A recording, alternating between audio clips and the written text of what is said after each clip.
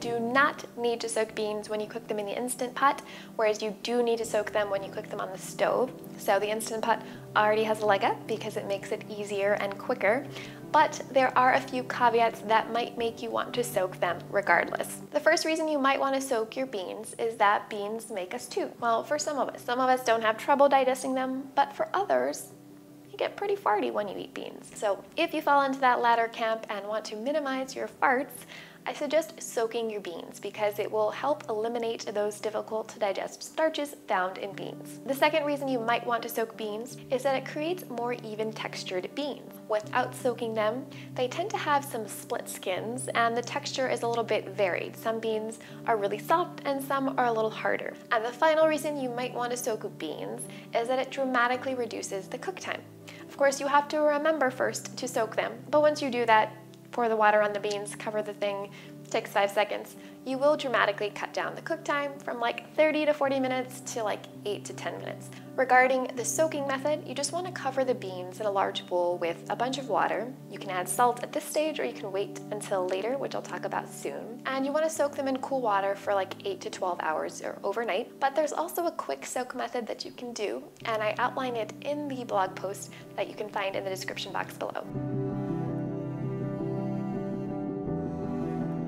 So if you've decided that you do want to soak your beans because either you want smoother beans or you want a shorter cook time or you don't want to fart as much, then you should really check out the delay start setting on the Instant Pot. Fill up your Instant Pot with the amount of beans you want to cook along with water and salt. Select the pressure cook setting and select the appropriate cook time for your variety of beans, making sure to use the cook time for soaked beans. Then use the delay start button. Use the plus and minus buttons to adjust how many hours you want to soak the beans, and then press this button again to adjust how many minutes you want to soak the beans. If you select 8 hours, your beans will soak in the salted water for 8 hours, and when that 8 hours is over, the Instant Pot will start pressure cooking the beans automatically. So you can set your timer before you leave for work, and then come home to a pot of cooked beans in the evening. One thing I should mention is that if beans give you a really hard time with digestion, like so bad that you need to lock yourself in a room and isolate yourself so nobody smells your smelly farts, if it's that bad, then the delay start setting is probably not the best option for you. That's because when the beans are soaking in the Instant Pot, they'll automatically start cooking in the same soaking water, and those difficult to digest starches in the beans will have leached out into the water. Of course, the water is going to get drained, so it's going to be easier to digest than if you hadn't soaked the beans at all. But if you're someone who has a lot of trouble digesting beans, then this method is probably not the best option for you. Here's my ideal ratio for cooking beans in the Instant Pot. For every one pound of beans, you want to cook them in five to six cups of water with two to two and a half teaspoons of kosher salt, which is about one and a quarter to one and a half teaspoons of sea salt. You'll use the pressure cook setting on your Instant Pot, which is the manual setting on older models. Again, in my cookbook, you will find a cook time chart for all the various different types of beans, how much time you should cook them, whether they're soaked or unsoaked. Even if you're just making a really simple pot of beans, not a chili or a stew, you can still amp up the flavor of those beans. So first of all, you don't have to just use water, beans, and salt. You can use vegetable broth instead of water. It'll give your beans a more savory, richer mouthfeel. I also want to emphasize that you should not skip the salt when you're cooking beans or soaking them.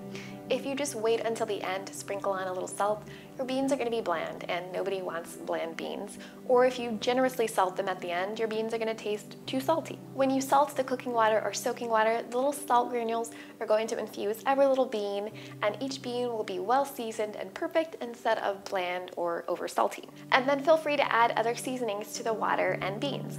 You can add whole black peppercorns or freshly cracked black pepper, bay leaves, fresh herbs like oregano or thyme, cumin seeds, coriander seeds. You can add chopped garlic or onion or carrots. There's just a whole variety of things you can do to spice up your beans, so try to experiment the next time you make a pot of beans.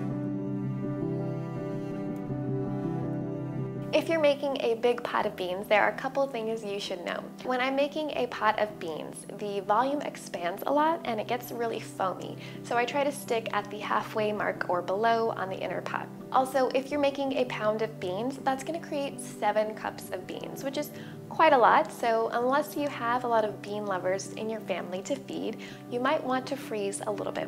What I like to do is freeze them in two cup increments. That way in the future when I'm making a recipe and it calls for a can of beans, I can just quickly defrost that small jar of two cups of beans, which is about the same amount of beans you would get in a can of beans. Usually just use the universal pressure cook setting to make beans, but there's also a bean chili setting. The bean chili setting will automatically default to certain cook times. If you want firmer beans, it'll default to 25 minutes, kind of medium soft beans to 30 minutes, and really soft beans to 40 minutes. On newer models, you can change that 25 minutes to 27 minutes, or that 40 minutes to 38 minutes. But I have heard on that older models of the Instant Pot, those default cooking times are set and you can't change them. So if you want more flexibility and customization, then just go ahead and use the manual setting. This last tip is important because if you don't want to get sprayed in the face with bean foam, I can't imagine you want to, then you want to make sure you use a natural pressure relief for at least 10 minutes or 15 to 20 minutes. That just means when the Instant Pot is done cooking, you let it sit, hang out, don't touch it, and then after 10 or 15 minutes, you can move the valve to the venting position and release the remaining steam. All right, those are my tips for cooking beans in the Instant Pot. Hope you found them useful. Now I'm going to share with you two super easy recipes for beans. They require no hands-on cooking, so I hope you enjoy them. For these spicy Mexican red beans, I'm going to soak some kidney beans in water for 8 hours or overnight. This really improves the texture of the beans as well as aids with digestion.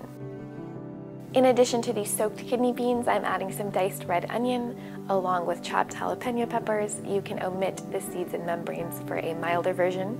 I'm also adding some minced garlic along with a mixture of spices and bay leaves and a generous amount of kosher salt. Then I'm adding canned green chilies. You can use mild, medium, or spicy, as well as enough water to cover everything and a jar of salsa. I'm using salsa verde because that's my favorite, but you can use any salsa you like.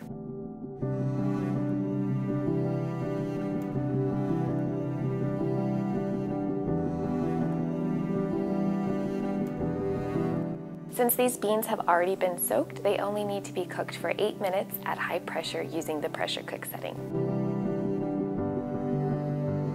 I like to finish my beans with some fresh cilantro, and you can serve them as is, but I really like them paired with rice for rice and beans, as well as spooned over corn tortillas for an easy taco night.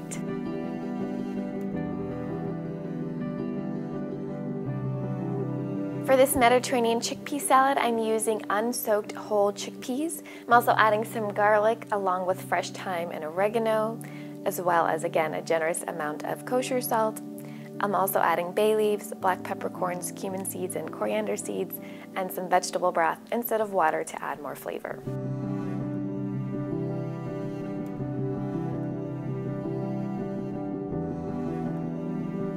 Since these beans are not soaked, we'll cook them at high pressure for 35 minutes using the pressure cook setting.